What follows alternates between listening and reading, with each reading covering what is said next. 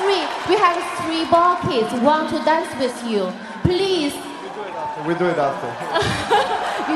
right, right here, okay? I will hold the trophy for you. Uh, the, the kids, the ball kids, which one?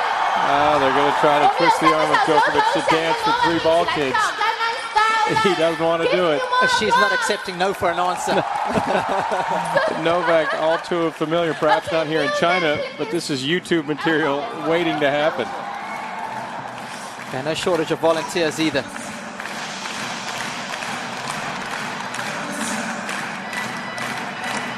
Oh, a little Gangnam style coming to the diamond court.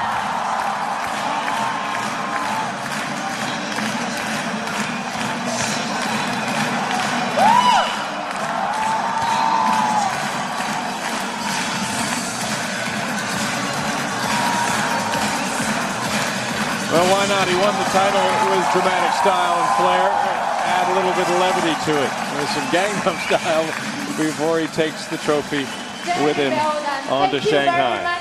Novak. Now, please enjoy the last round photo shooting of our winner, Novak Djokovic.